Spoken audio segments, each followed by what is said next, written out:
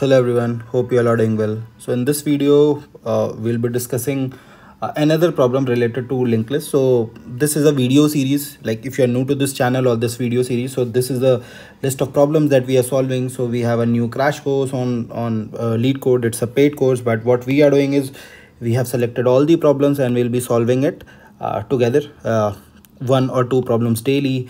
Uh, also apart from these problems i'll be adding some more problems so that uh, we are good to go. Uh, things are covered briefly here. It's a crash course but again uh, whatever questions uh, are needed to understand more concepts i'll be adding that by time to time right? I've already added it.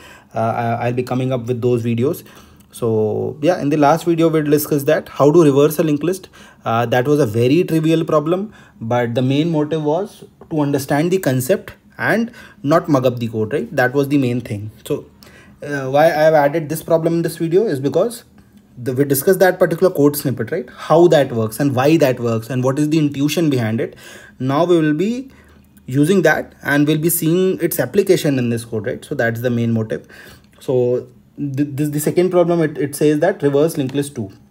So given the head of a single linked list and two integers left and right, where left is less than equal to right, reverse the nodes of the list from position left to position right and return the reverse linked list, right? So in the in, in the previous problem, we were reversing the whole list. In this we are reversing a part of list right? So that's uh, that is basically what the problem is saying. So let me write it. So let's say my list is this.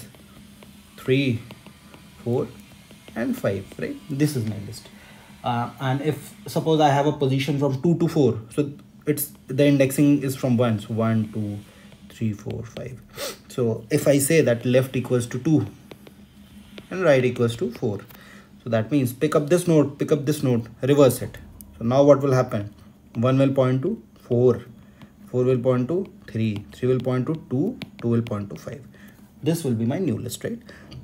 Now if you haven't watched the previous video where we discussed in detail how to reverse a linked list uh, please do watch that video. Uh, it is part of the same playlist right? Uh, if you I'll, I'll mention that into the comments as well uh, just for simplicity okay?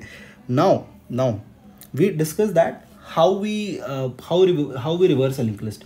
I'll tell you briefly just i'll tell you just briefly. So we take a temp list. We take a temp list. We have an original list. Suppose we have a list of one two three four something like this. So we take a temp list and somehow what we do initially it points to null right? And we represent it by suppose previous by a name right? So what we do we make one point to null right? And this becomes our new previous this link is broken and this becomes a new current right? Now what what happens? This becomes 1 slash null. And this list become 2 3 and 4 this is my current. This is my previous. Now what happens? 2 points to 1 this becomes my new previous. This becomes my new current and so on right? We have i've discussed the code in detail now here what we were doing we were passing the whole list right? We were passing the whole list. However in this problem what we need to do uh, that if this is my list or let me just use the same diagram to save time. If this is my list what i can do if my left is 2 right? If my left is 2 so all i need to do is i need to traverse my list so to find this link to find this node right? So if left equals to 2 so i need to traverse just one node I need to traverse left minus 1 nodes because I need a reference. I, I need this pointer basically so that I can point to this node, right? This is the start of my list, right? Now, what is the second thing I need to do? I also have a right, right? So I traverse these number of nodes that is 4. So 1, 2, 3, 4, right? I also have a I also get a uh, basically link to this node. So that means I have a link to the leftmost node. I have a link to the rightmost node. So what I'll do, I'll just pass it to my function, right? I'll just pass it to my function that this is the start, this is the end. So in, in, in the basic code, in the, in the uh, normal basic stuff, what you do, you check while your current is not equal to null, you keep on doing these operations that we discussed. However, in that case, what will happen?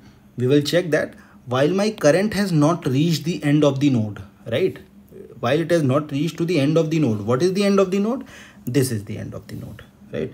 If it has not reached end of the node then do this stuff right? So this is what we will be doing. And once we have that sublist reversed then what what we'll do? Suppose i get the sublist reversed right? So now i was already having a link to this one. So suppose this was uh, t1 so what i passed in my function? My function in my function i passed t1 dot next. So this was passed right? And what about this one? Uh, i can keep a link to this node it is t2 right? So simple stuff. Once your list is reversed what you do? You make t1 dot next equals to new head. What is the new head? Which you get after reversal right? And the last node that you get in your list right? The last node whichever you get in your list. So basically that will be doing something like this. So last node so last node dot next equals to t2 this is t2 right? Basic stuff. This is what we'll be doing and then our list will be reversed right? Let's directly jump into the explanation part. So my code starts from line number 27 so if uh, my list is empty or it has just one node right? Or left is equals equals right that means you just need to reverse one node. That means you don't need to reverse it right? So you return the head right? Now on line number 13 i have taken a dummy node um, um uh, dummy dot next basically points to head. So this is a technique uh, it makes your code easier. So you have a head node right? You can take a dummy node which points to head because there you uh, you will be saved by doing some extra null checks and also but we'll be learning that in the upcoming videos as well uh, by doing more and more examples right? On line number 32 um, start points to dummy and then what i am doing till left minus 1 I am doing start equals to start dot next. Again traversing left minus 1 nodes right? Now start pointer start pointer is uh, you see start dot next right? What I said that I reach this node in this case 1 and I pass uh, 1 dot next as the start pointer. End now end node is dummy right? Now what I do? I do i equals to 0 i less than right end equals to end dot next that means I'm again starting from the starting of the list and I'm moving a right number of nodes. So I have the end pointer as well. I just see on line number 43 I'm passing start pointer and end pointer, right? Let's move to this function. This function is exactly the same which I've been discussing for past couple of videos.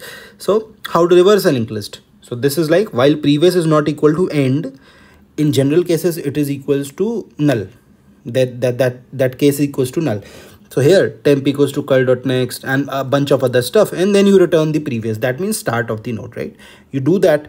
Now once you have it once you reverse it then what will happen?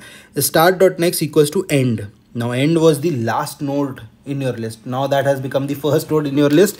And start pointer dot next equals to end pointer right? You saved these things right? On line number 36 you can see. And then finally you return dummy dot next. Simple. Whatever i have explained you in the diagram. So exactly the same thing and then we are good to go right? So yeah i hope you learned something new from this video. Do support it by giving up a thumbs up. Do subscribe to the channel. In case you have any queries do mention that into the comments. I'll i'll revert on each one of them. Okay take care. Bye bye